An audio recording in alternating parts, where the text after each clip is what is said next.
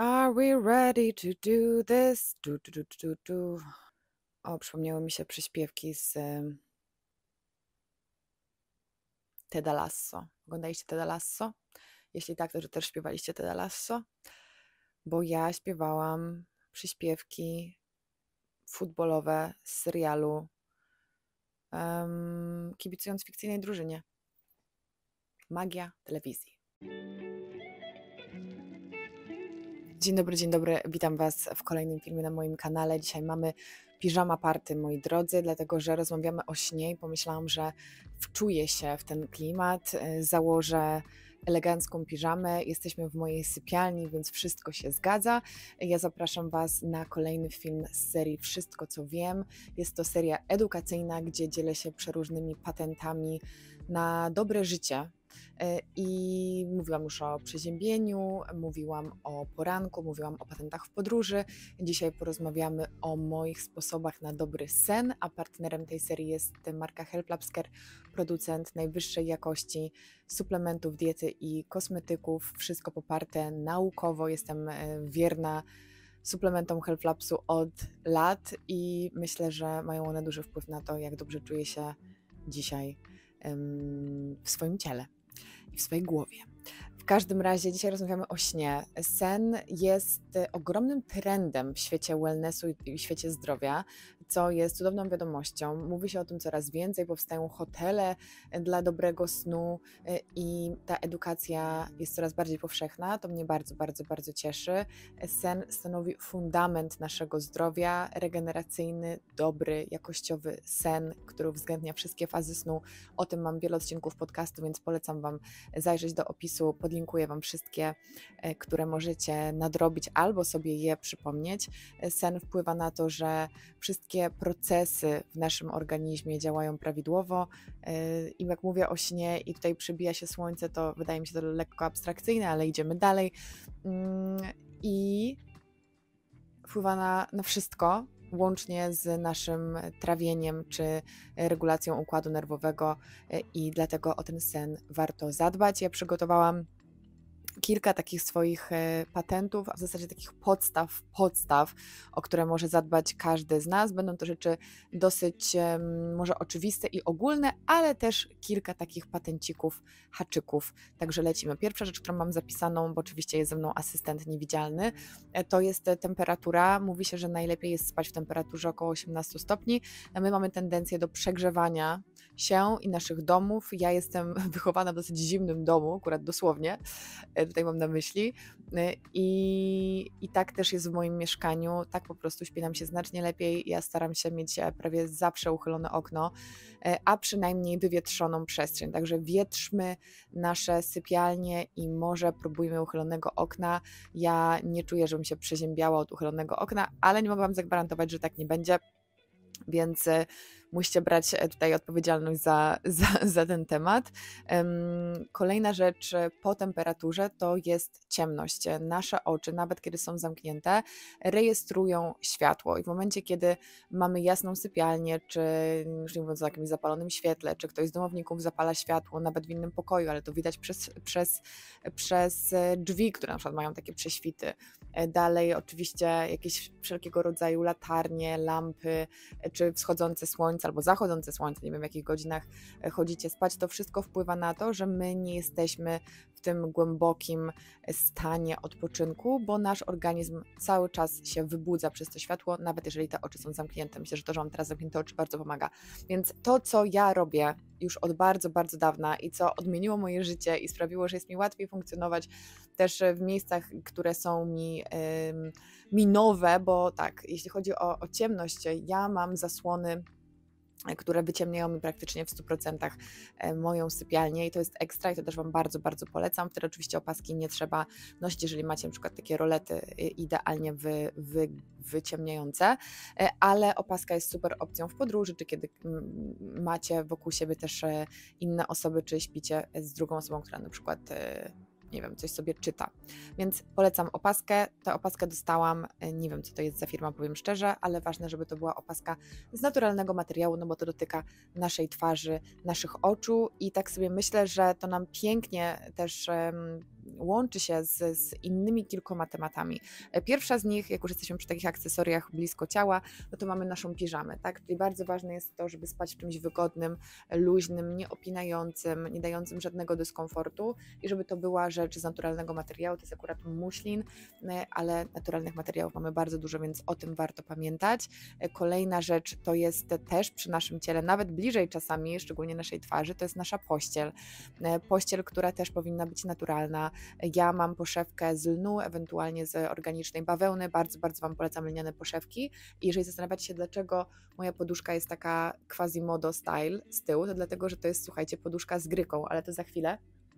Poszewki są e, lniane, też ważne jest to, żeby regularnie zmieniać pościel, wymieniać e, poszewki dla, dla naszej e, higieny, dla naszego zdrowia. To też myślę dosyć oczywista sprawa. W każdym razie, jeśli chodzi o naszą poduszkę, to ja mam poduszkę, słuchajcie, z ziaren gryki, z łuskami gryki, o ile się nie mylę. I i to, na co może pomóc taka naturalna poduszka właśnie z ziarnami, to bezsenność, bóle kręgosłupa, migreny, chrapanie, nadmierne pocenie, odleżony stres, napięcie. No więc tych benefitów jest bardzo dużo.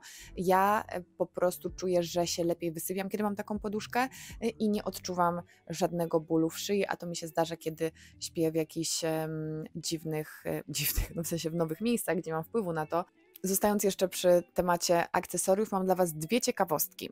Pierwsza rzecz to jest coś, czego jeszcze nie przetestowałam, ale co jest na moim radarze i to jest ogromny trend, dlatego pomyślałam, że się tym z Wami podzielę, takim smaczkiem. Smaczkiem, dosłownie, bo chodzi o usta. Otóż e, zaklejanie ust na noc. To może brzmieć dziwnie, ale to, co jest bardzo ważne dla jakościowego snu, to jest, moi mili, oddychanie przez nos, a wiele z nas cierpi na bezdech senny, o tym zresztą mówimy właśnie w podcaście o śnie z doktor medycyny snu. W każdym razie... Mm, żeby ułatwić naszemu organizmowi oddychanie przez nos, można zaklejać sobie usta, są specjalne do tego taśmy, ale oczywiście, jeżeli cierpimy na jakieś problemy, nie wiem, z zatokami, z przegrodą nosową, gdzie my realnie nie jesteśmy w stanie oddychać nosem, no to oczywiście nie róbmy tego, nie chcemy się udusić. Także warto to oczywiście e, skonsultować i, i sprawdzić, czy czy to jest dla nas wykonalne, ale dla osób, które mogą oddychać przez nos, tak jak na przykład ja, ale automatycznie oddychają często przez usta w nocy, może się okazać, że to będzie rozwiązanie. Oczywiście to też e, wpływa na to, że nasz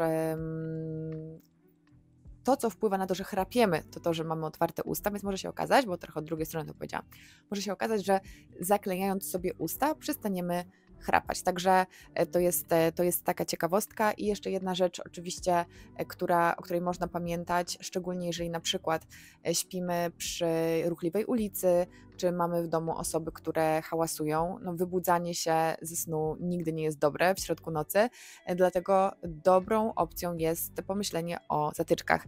Ja nigdy nie korzystałam z zatyczek, zazwyczaj jestem w bardzo cichym środowisku, ale mam ze sobą dzieciństwo z chrapaczem w domu, więc wtedy żałuję, że o tym nie pomyślałam, ale po raz pierwszy skorzystałam z zatyczek teraz, kiedy byłam na wyjeździe i spałam na kempingu, gdzie pan chrapał, jakiś obcy pan chrapał.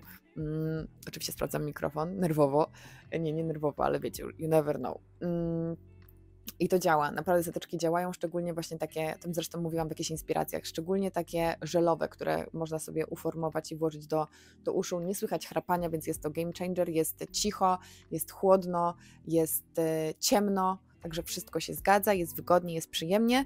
E, I na koniec e, kilka słów o całym takim rytuale wokół pójścia spać. Na pewno dla mnie ważną częścią e, wieczoru jest e, wzięcie magnezu. E, to jest oczywiście magnez z Health Labs Care i to jest magnez nocny, bo zestaw suplementów Magnemi to jest to jest pudełeczko, znaczy mm, jak to się nazywa? Słoiczek E, na rano i na wieczór, więc należy brać te, te suplementy dwa razy dziennie i to jest bardzo ważne i za każdym razem po dwie kapsułki. I tutaj ciekawostka, rozmawiałam z Asią Podgórską, e, która współtworzy produkty Herflapsker, właśnie dlaczego są dwie kapsułki, czemu nie może być jednej kapsułki. I to mi też pokazało, jak jakościowe są to produkty, bo ona powiedziała, że po prostu nie da się wpakować w jedną kapsułkę tyle składników aktywnych, które będą dobrze przyswajalne, więc to jest trzeba powiedzieć, cena, no poniekąd, tak, że trzeba pogodzić dwie tabletki tego, żeby ten, ten produkt był jak najbardziej skuteczny, więc w Magnemi są cztery aktywne biologicznie formy magnezu, cytrynian, jabłczan, acetylotaurynian, di, g, boże, digly, diglicynian o ukierunkowanym działaniu i wysokiej przyswajalności. Słyszałam ostatnio, że gdyby brać jeden suplement, to byłby to magnez. Oczywiście nie chodzi o to, żeby wybierać i żeby brać jeden, ale magnez przyczynia się do zmniejszenia uczucia zmęczenia i znużenia, pomaga w prawidłowym funkcjonowaniu układu nerwowego i układu odpornościowego, wspiera prawidłową pracę mięśni. Mówi się, że to jest bardzo ważne w przypadku osób aktywnych, przebodźcowanych, ale mówmy się, to dotyczy nas wszystkich, bo niech kto nie jest aktywny i przebodźcowany, niech pierwszy podniesie rękę w komentarzu. Także E, to jest na pewno duża część mojego takiego wieczornego rytuału. E, druga rzecz jest taka, że wtedy też właśnie e, już po, po, po zajściu słońca, ale nawet, nawet już po południu, zakładam okulary blokujące niebieskie światło. Pytacie o to dosyć często. Mam te okulary od lat, naprawdę od lat. One blokują niebieskie światło w 30%. Są też takie, które blokują w 100% i one mają wtedy pomarańczowe szybki, no bo całkowicie, e, całkowicie nam to, to światło zatrzymują. Natomiast te są częściowo zatrzymujące, ja nie wyobrażam sobie bez nich życia w ogóle przez cały dzień, jeśli chodzi o patrzenie w komputer czy w telefon, ale wieczorem jest to szczególnie ważne, bo to też sprawia, że to niebieskie światło nas nie wybudza, czyli my stopniowo się wyciszamy, też melatonina e, ma większą łatwość w wydzielaniu się w naszym mózgu e, i staram się, żeby przynajmniej te pół godziny przed snem mieć taki czas totalnie offline. Im wcześniej, tym lepiej, chociaż też sama lubię sobie jakieś rzeczy pooglądać, także, także nie ukrywam, że różnie to, różnie to bywa, ale daję sobie ten czas, żeby pójść do łazienki, zrobić cały swój jakiś taki rytuał e, kąpielowy. Dajcie znać, czy, czy szczegóły właśnie takie bardziej kosmetyczne też moich, moich praktyk porannych i wieczornych również was, was interesują. I mój telefon nie ma wstępu do sypialni. Zostaje na zewnątrz. Ja mam taki budzik, który mnie zawsze wybudzi, w ogóle mnie właśnie to jest też ciekawe, to nie jest tak, że mnie wszystko wybudzi, po prostu nasz mózg jest przyzwyczajony już do konkretnego e, dźwięku budzika, tak mi się wydaje, e, i, i po prostu on, on rejestruje te pierwsze nuty, nawet jeżeli są ciche z drugiego pokoju, przynajmniej u mnie tak jest, dajcie znać, czy u Was też tak jest. Wstaje w każdym razie bez problemu, e, telefon zostaje na zewnątrz, telefon jest w trybie samolotowym i tutaj w sypialni przychodzę już bez niego, siadam sobie w łóżku i poświęcam czas na jeszcze dodatkowe wyciszenie w postaci czytania. Czytanie zazwyczaj mnie zmula. Mam tutaj obok, e, obok łóżka zawsze kilka książek, ewentualnie mam też notes, jeżeli chcę sobie, chcę sobie popisać. Wiecie, czasem tak jest, że wieczorem już myślimy o kolejnym dniu i warto jest sobie te myśli e, po prostu gdzieś, gdzieś przełożyć, tak? Czy to będzie lista zadań, czy to będą jakieś nasze myśli, które nami nami targają e, i zakładam, słuchajcie, opaskę, znaczy gaszę światło, zakładam opaskę i jestem gotowa do spania patrzę na ściągę, no nie mam ściągi otwartej, też jestem dobra. Patrzę na ściągę, czy coś jeszcze zostało? Tak, tak, tak, tak. Y, jak powiedziałam o tym, o tym budziku, to w sumie to był jeden z podpunktów, który sobie tutaj zanotowałam, to jest e, łagodna pobudka, tak? My nie chcemy, żeby nas ktoś wybudzał po prostu jak w wojsku e, i wydaje mi się, że E, nie wiem, ja ilekroć tak mam, że jestem z kimś, kto ma głośny budzik, e, to czuję jakbym po prostu, na serio, mój układ nerwowy nagle ze stanu błogości wskoczył w stan totalnego przetrwania. My nie potrzebujemy się dodatkowo dostymulować tą, e, tą, tym budzikiem, więc polecam delikatną pobudkę, a najlepiej wstawanie samemu o podobnej porze, wytrenowali naszego organizmu do tego, by budził się sam i przez to, że chodzimy regularnie spać, regularnie wstajemy, z czasem ten budzik przestaje być nam potrzebny. Ja tak mam, że często budzę się o tej porze, o której rzeczywiście chcę e, wstać.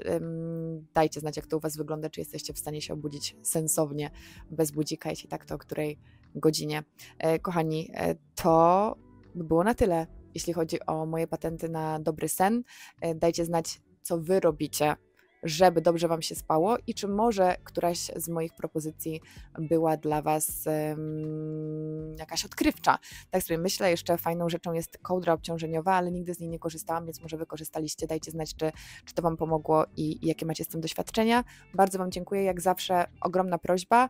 W ramach serii Wszystko, co wiem, jestem otwarta na to, żeby poruszać przeróżne tematy, więc jeżeli są jakieś kwestie, aspekty życia, które Was szczególnie interesują, dajcie znać, ja z radością zrobię o tym film. Wielkie dzięki za oglądanie tego filmu. Pamiętajcie, żeby lajkować, komentować, subskrybować i klikać w dzwoneczek, żeby dostawać powiadomienia. A teraz dobranoc.